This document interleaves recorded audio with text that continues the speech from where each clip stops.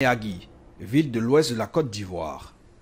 Située au cœur de la principale zone de production cacaoyère, la localité subit de plein fouet le réchauffement climatique. Les cycles naturels ont été bouleversés. Conséquence, les variations climatiques mettent en péril les plantations de cacao. Les pluies ont cessé et l'eau se fait rare. Kwasi Hervé est planteur de cacao depuis plusieurs années. Il nous montre les dégâts du changement climatique dans les champs. En fait, euh, avant, au moins, il y avait les, arbres, il y avait la forêt, tout ça. Il pleuvait dans les mois précis, mais actuellement, il n'y a plus euh, d'arbres. C'est-à-dire qu'il n'y a plus d'arbres, les arbres d'ombrage n'existaient plus. Donc, même le, mois de juin, il pleut, il légèrement. Actuellement, nous sommes en juillet, mais il ne pleut même pas. Donc, de tuer les champs, les, les arbres ont besoin d'eau, tout ça. Mais aujourd'hui, ce n'est pas le cas. Hein. Donc ça fait que les, arbres jaunissent. les cacaoyers jaunissent, tout ça. Train de perdre tous les champs de cacaoyers. Au niveau de la zone de Miyagi, Soudou, tout ça. Les cabosses de cacao sont plus petites, moins nombreuses et les arbres sont plus vulnérables aux maladies. Les pertes de rendement sont importantes. Une situation qui menace les moyens de subsistance des planteurs. Très grave.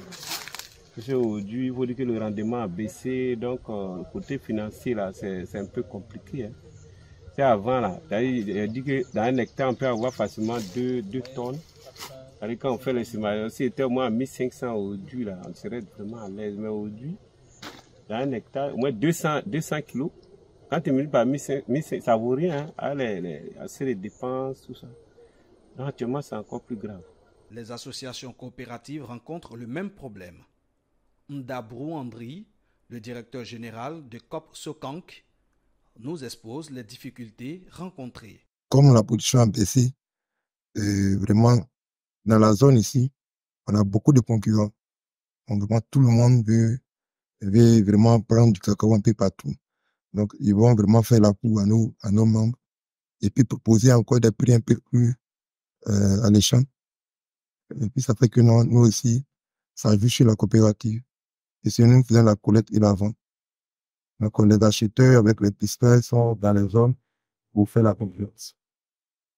À la baisse de la production s'ajoute la réduction des revenus pour les membres de la coopérative, ce qui met en péril les projets communautaires et les investissements en infrastructures. Euh, comme appel, vraiment, on a vraiment besoin de beaucoup de soutien et vraiment penser, penser euh, vraiment au phénomène de changement climatique et venir sur le terrain, faire des, des études techniques pour vraiment nous accompagner.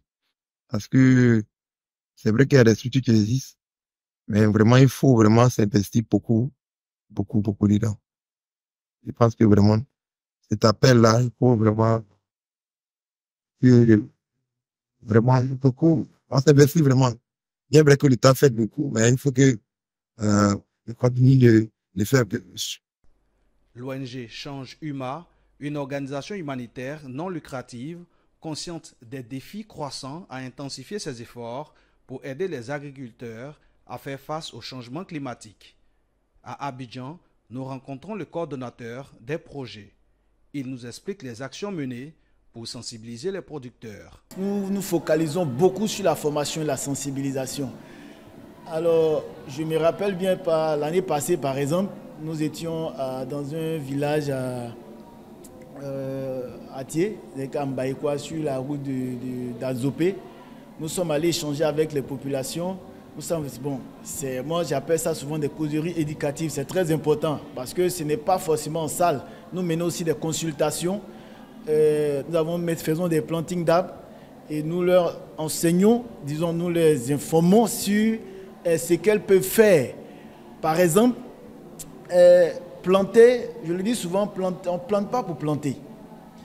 Par exemple, quand j'échange avec les populations directement, elles se disent oui, on peut essayer de d'atténuer les effets. Mais avec ce que nous plantons et l'utilisation euh, des, produits chimiques, par exemple, qui appauvrissent le sol. Et comment est-ce qu'elles peuvent arriver à produire assez?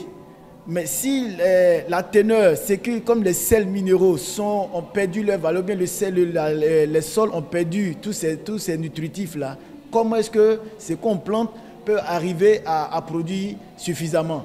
Donc, il faut leur, il faut leur dire que on, peut, mais ce sont des fertilisants, des engrais bio, pour que ce qu'elles sèment là, bien ce que ces populations sèment, puissent encore récolter euh, meilleur que ça en toutefois préservant eh, le sol. Au-delà de l'agroforesterie que conseille Alexandre Kofi à travers son ONG, il recommande la préservation des sols en réduisant l'usage des pesticides dans la cacao culture. Selon lui, les sols se dégradent à force d'utiliser les pesticides. Alexandre Kofi recommande des techniques comme le compostage pour réduire considérablement les émissions de gaz à effet de serre. Les planteurs, les coopératives locales et des ONG travaillent pour trouver des solutions et s'adapter aux nouvelles conditions climatiques. Des actions à pérenniser pour la préservation de l'or brun ivoirien.